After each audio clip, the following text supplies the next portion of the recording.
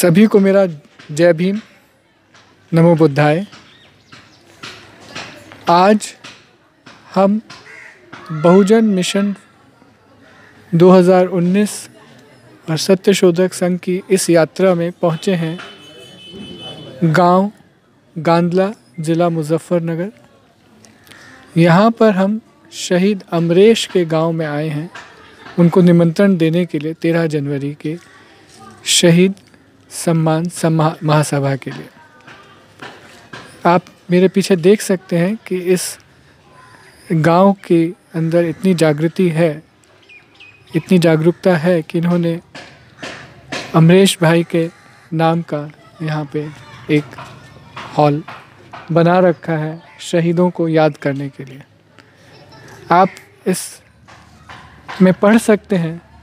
उन्होंने साफ़ साफ़ लिखा है कि S C act S T act के अधिकारों की रक्षा करने के लिए और 2 अप्रैल में भारत बंद अभियान में हमारे भाई शहीद अमरेश कुमार को सम, समाज को आप पर हमेशा गर्व रहेगा ऐसे शहीदों को हमारा शत शत नमन। जय भीम।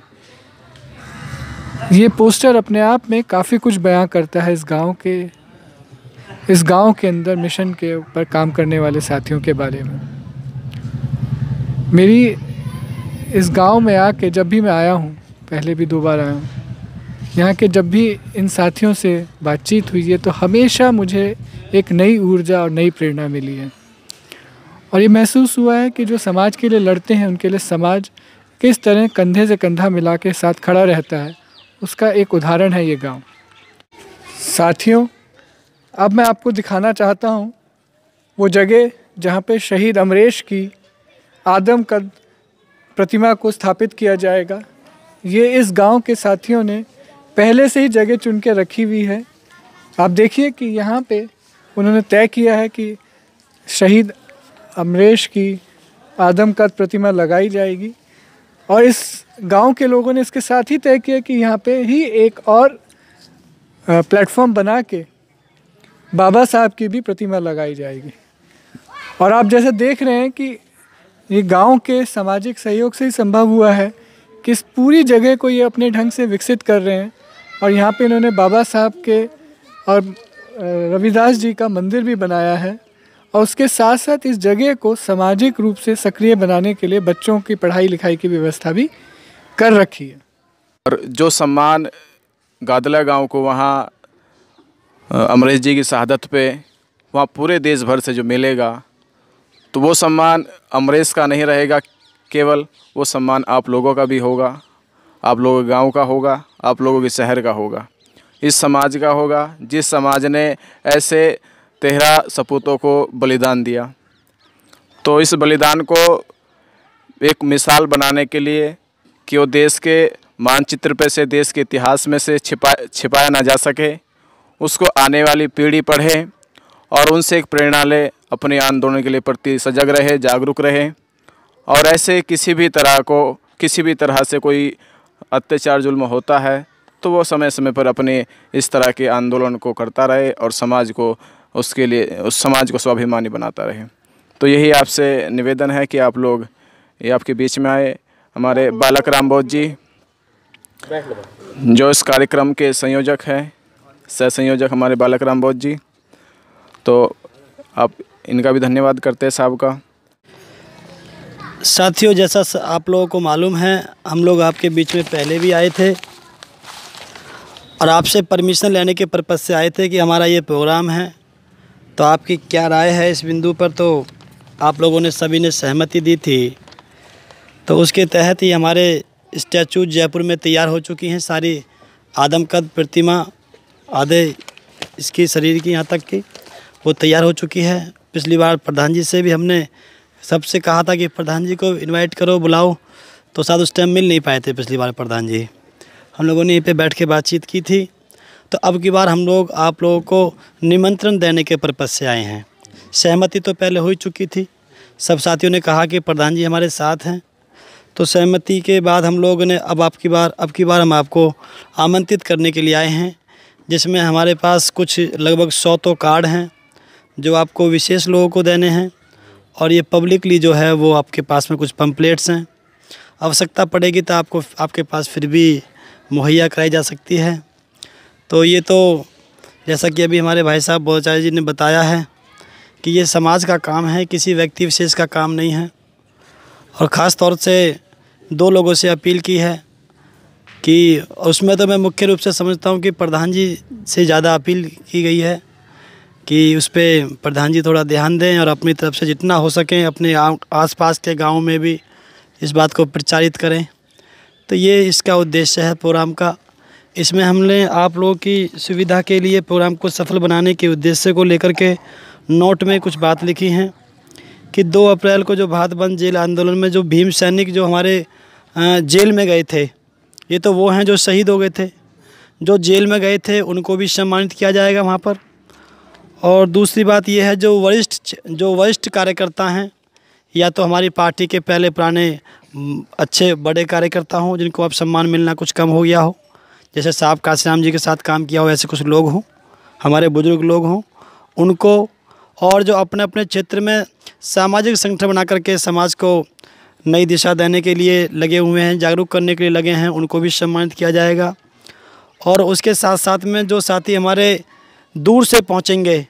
तेरह तारीख के प्रोग्राम को ध्यान में रखते हुए तो 12 तारीख की रात को 12 जनवरी की रात को, डॉक्टर अंबेडकर भवन, रानी झांसी रोड, पहाड़गंज, दिल्ली में।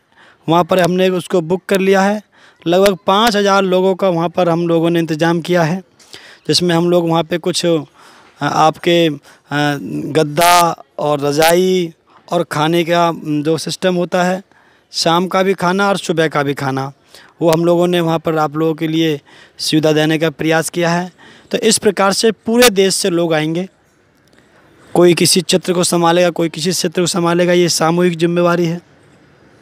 और मैं तो साथियों ये कहता हूँ, और आप इसीलिए उसको हम लोग द्वारा से इस बात को हम लोग कर रहे हैं। हमारे समाज में पहले बहुत से लोगों ने आहुति दी। तो ये तो समाज देता ही रहा है, बहुजन समाज। तो ये शहादत बेकार ना जाए और इससे एक प्रेरणा मिले जैसे हमारे साथी बताते हैं। जब द्वितीय विश्व युद्ध था तो भारत की तरफ़ से जो सैनिक लोग विदेशों में लड़ने के लिए गए थे उनकी जो जो उनकी शहादत गई थी जो उनको शहीदी हुई थी उसकी यादगार में उन लोगों ने दिल, दिल्ली में इंडिया गेट बनाया था जिससे कि ये कभी भूलने में ना आए। उसी प्रकार से महाराष्ट्र के अंदर हमारे समाज के 500 लोगों ने अट्ठाईस हज़ार विरोधी लोगों को हराने का काम किया था तो उसके लिए भी वहाँ पर भीमा कोरेगाम का स्तंभ बनाया था। तो ये उसी का एक पैटर्न है, बहुत ज़रूरी है।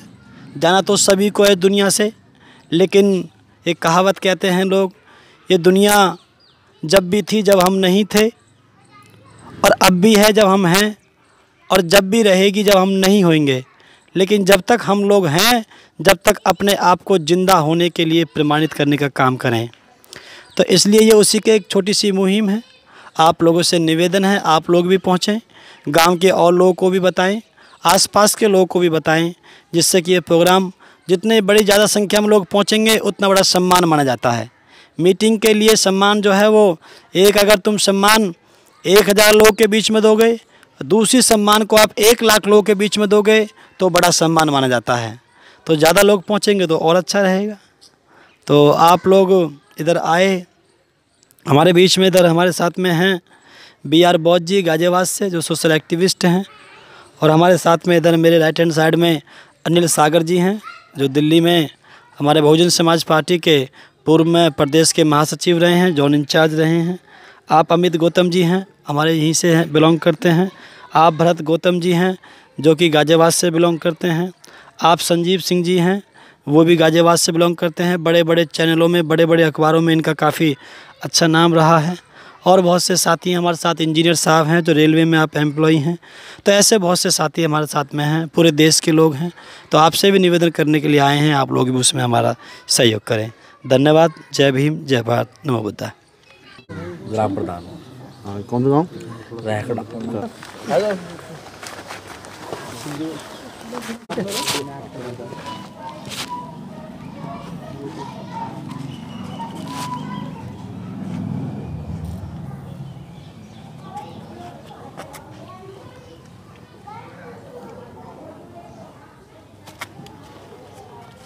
हमारे साथ हैं गां, गांधला गाँव के प्रधान अशोक कुमार जी। ये बहुजन सम्मान महासभा के लिए आपसे कुछ कहना चाहते हैं। जय भीम जी। आपको हमारे साथियों ने ये निमंत्रण दिया है। जी जी। आपको क्या लग रहा है कि इस कार्यक्रम के क्या उद्देश्य है? क्या समझ में आया इस कार्यक्रम के उद्देश्य सही रहेंगे जी। कुल मिला के एकता रहेगी सभी समाज में हमारे। तो आप आएँगे इस कार्यक्रम हाँ जी ज़रूर आएँगे जी। अपने दल बल के साथ आएँगे? पूरे हिम्मत के साथ आएँगे जी। आप अपने साथ अन्य प्रधानों को भी इसमें लेके आएँगे? जी जी। मैं हम सभी प्रधान साथियों को अपने अपील अपील करूँगा जी। आप एक अपील भी कर जी दीजिए सब जी लोग आएँ। चैनल के माध्यम से आप इस तेरह तारीख के कार्यक्रम के लिए कुछ समाज को संदेश देना चाहते हैं? हाँ जी ज़रूर गाँव गाँव में जाकर मैं कंप्लेट बांटूँगा जी। बहुत सहायता करूँगा। और आप अपने साथ अपने परिवार को लेके आएँगे? ज़रूर आऊँगा सभी सभी रिश्तेदारों को अपने साथ लेकर आऊँगा। और कुछ कहना चाहते हैं समाज से कि इस कार्यक्रम में लोग आए क्या कुछ? हाँ जी कहना चाहता हूँ। बोलिए। कि मैं चाहता हूँ कि मेरे लारे सभी अपने मेहनत कर कर सभी अपने गाँव के लारे लेकर आऊँगा ज़रूर आऊँगा जी। मैं अपील करता हूँ कि मैं सभी पूरे भारत में अपील करता हूँ मेरी सभी दिल्ली पहुँचे रामलीला रामलीला मैदान? मैं रामलीला मैदान तेरह जनवरी। तेरह जनवरी में जाकर पधारे। और सभी गाँव या मुजफ्फरनगर गाँव से भी मैं जा जाकर कहूँगा कि वहाँ चलो दिल्ली। धन्यवाद। आप शहीद अमरीश के पिता हैं और इनके साहस और इनकी हिम्मत की हम लोग दाद देते हैं। एक बच्चे को खोने के बाद भी इन्होंने हम लोगों से जब पहली मुलाकात हुई तो उसमें इन्होंने हमसे कहा था कि अभी तो समाज के लिए मेरा एक बच्चा गया मेरा पूरा परिवार भी मैं अपने समाज के लिए दे सकता हूँ और उसकी शहादत को मैं सम्मान दूँगा। थकूँगा नहीं, हारूँगा नहीं, सम्मान की इस लड़ाई में पूरे परिवार, समाज सहित आगे डटा रहूँगा। धन्यवाद।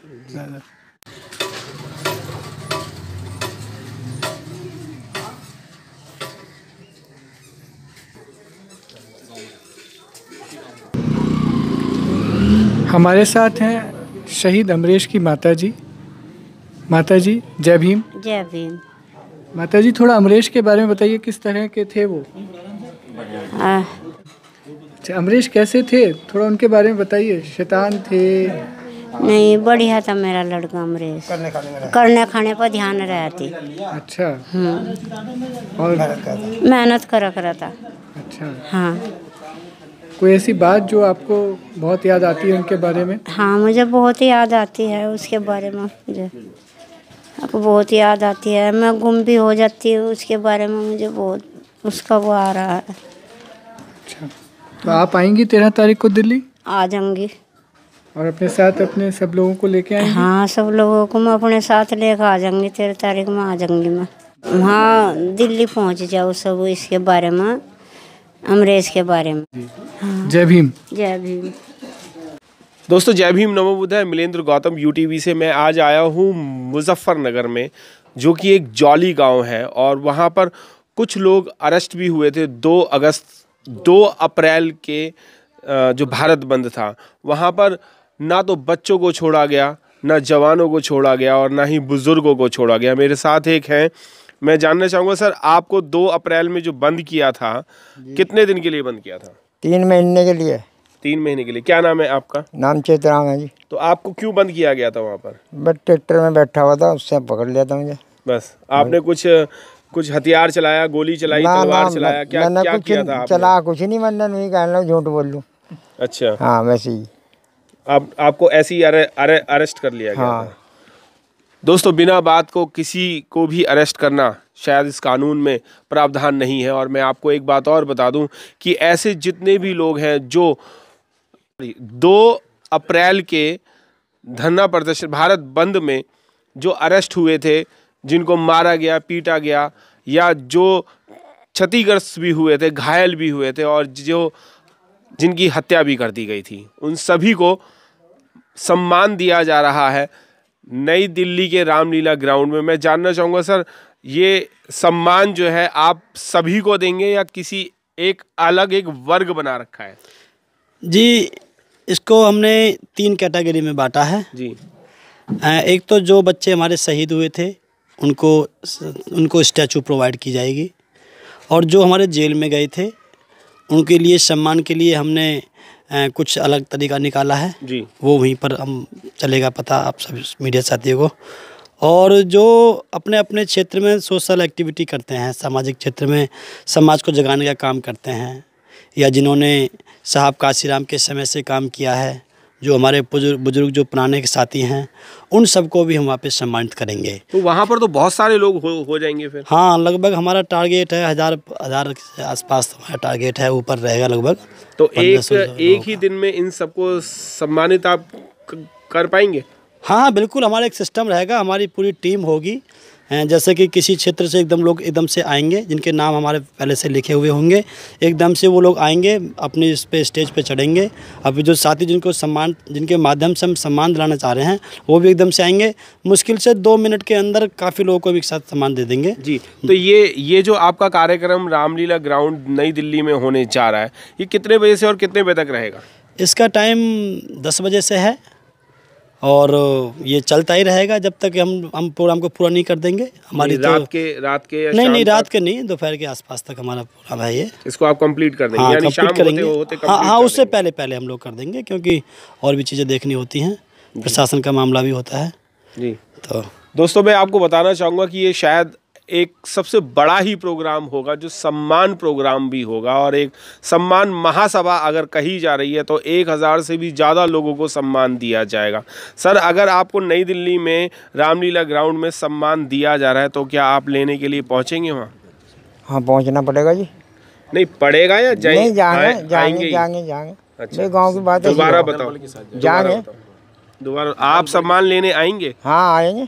आएँगे। अपने और किसी साथियों को गाँव वालों को रिश्तेदारों को भी लेके हाँ आएँगे। जो- भी कोई आओगा लावेंगे हमने घर जी। मेरे साथ युवा हैं, भारत जी, मैं भारत जी से भी जानना चाहूँगा। सर, इसकी जो आपने रूपरेखा बनाई है, वो क्या है कुछ? थोड़ा सा आइडिया रूपरेखा जिस प्रकार से बता दिया है, सम्मान में, बहुजन समाज के सम्मान में ये सभा लगाई जा रही है और उसको किन तरीके से तीन कैटेगरी हम हमने बनाई है, वो उपाध्यक्ष जी ने बता दिया है आपको कि भाई इन कैटेगरी के लोगों को हम सम्मान देंगे उन्हीं के लिए हम काम करेंगे गाँव गाँव जा कर के बस प्रचार करना हम लोगों को। जी। गाँव गाँव जाकर के प्रचार हो रहा है और ये महासभा जो है एक पूरा हो सकता है शायद गिनीज वर्ल्ड रिकॉर्ड में या लिम्का वर्ल्ड रिकॉर्ड में भी ये नाम आ सकता है कि इतने सारे सम्मान एक ही दिन में दिए जाएँगे। नई दिल्ली में रामलीला ग्राउंड में तेरह जनवरी। बहुजन समाज के सम्मान में। बहुजन समाज के सम्मान में। जय जय जय जय जय भीम। जय भीम जय भीम। बाबा साहब। भाई बाबूजी से ये बात पूछने हैं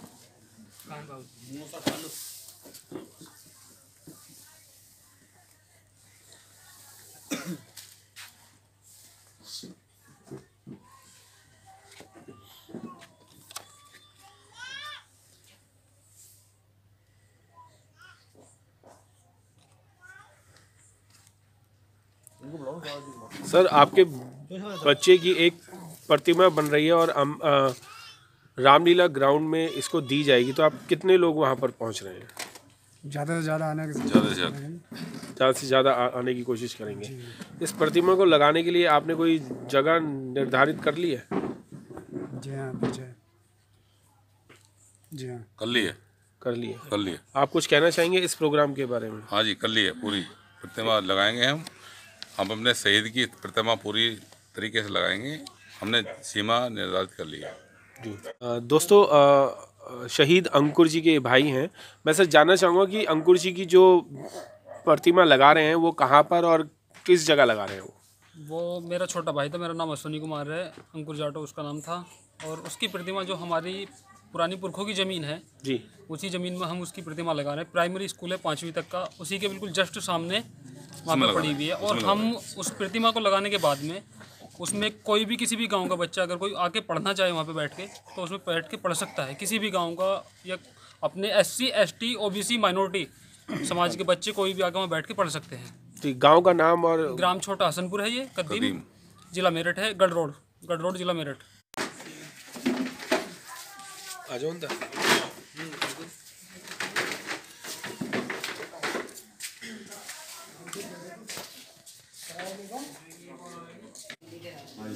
शहीदों के सम्मान में। चला दिल्ली रामलीला मैदान में। शहीदों के सम्मान में। चला दिल्ली रामलीला मैदान में। जय भीम। जय भीम। जय भीम। जय भीम। जय भीम जय भारत।